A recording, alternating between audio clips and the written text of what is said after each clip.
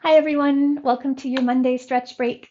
Uh, for those of you who are new, every week I do just a really quick stretch to help you get through your workday. And today we're going to focus on the shoulders. So you can sit or stand, just get comfortable. And we're going to begin with taking one arm across, and you can use your hand to pull your forearm or your upper arm toward you.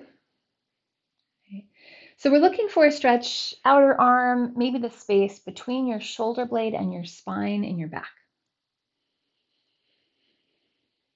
Take a few breaths and see if you can just settle the weight of that shoulder, right? That's different than it popping up. It's also different than pushing it down.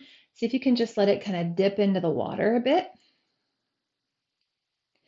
And then breathe into the space between your shoulder blade and your spine.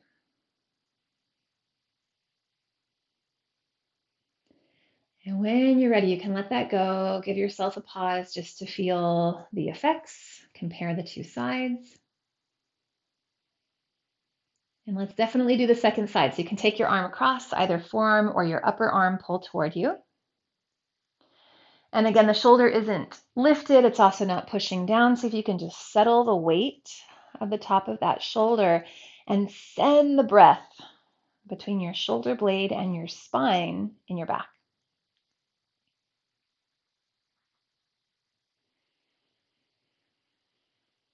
I like to pretend the lung is actually stretching it from the inside. So I'm like breathing into that space right where I'm aiming the stretch.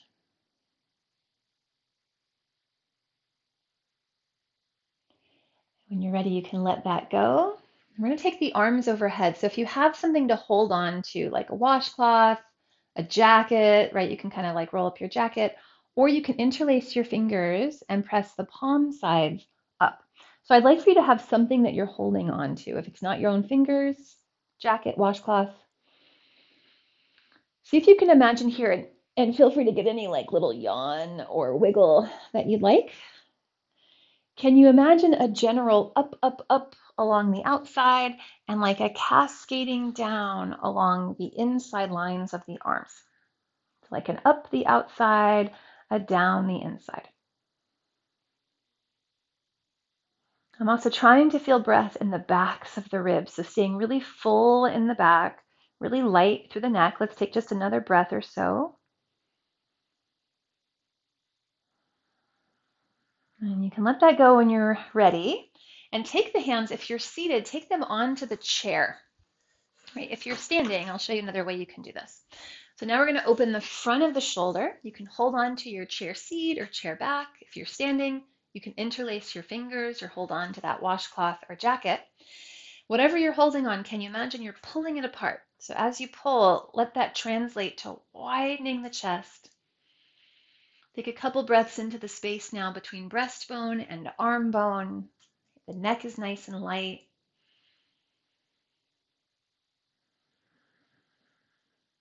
And again, very gentle, so no sharp edges. We're just trying to get a little bit more space and room. And we've gotten a little stretch to some of the sides of the shoulders. When you release, just notice how your posture feels, how your breathing feels. Thanks so much for trying this out. We'll see you next week. Bye.